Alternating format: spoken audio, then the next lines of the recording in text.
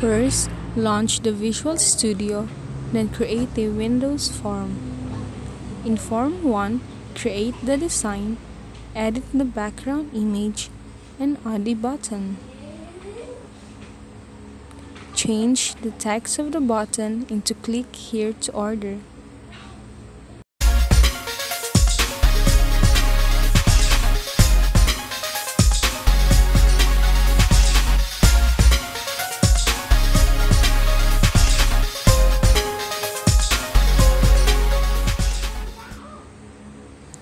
After that, add another form which is Form 2. It is where the customer will order. Create the design just like what you did in Form 1.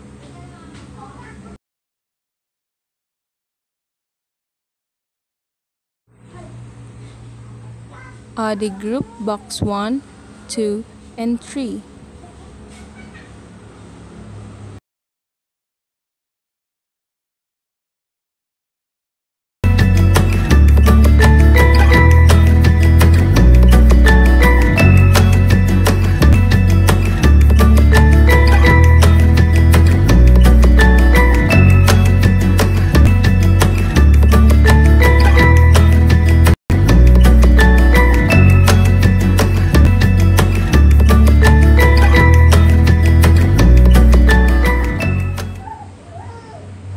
In the group box 1, list all the flavors of the milk tea by adding label.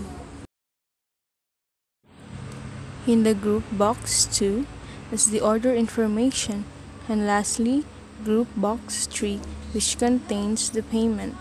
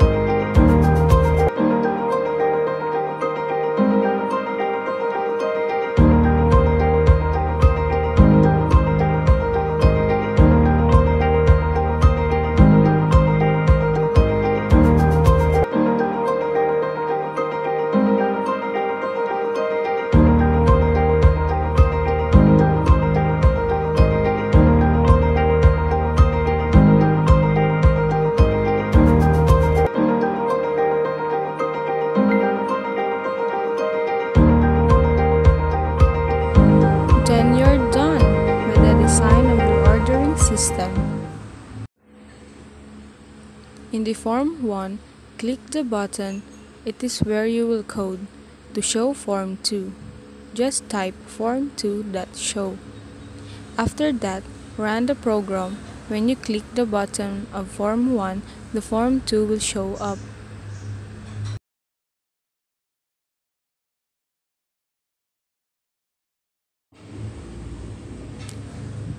Next is the Form 2.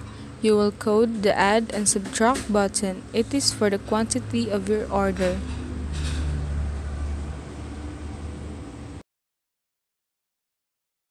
Run the program and you'll see how it works.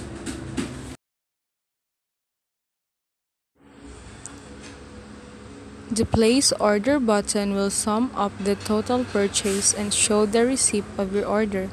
Run the program and see how it works.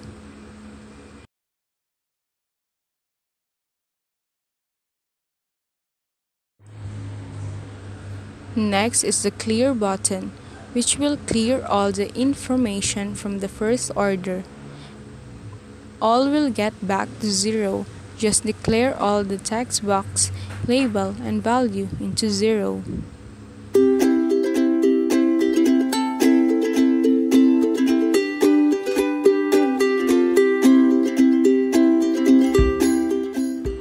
Next is the Receive button that will connect the information into the database.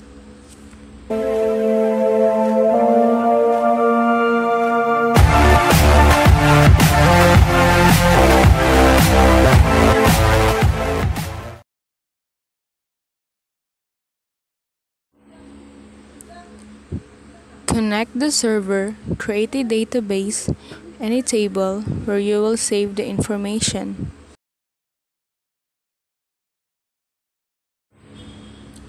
In the table, the data type should be similar. In the Visual Basic, declare import and the SQL connection that will connect to the database.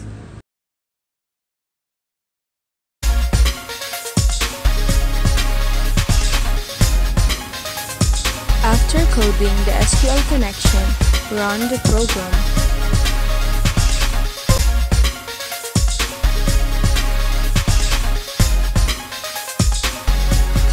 As you can see, the order you made are recorded into your database, the quantity and the total purchase of it.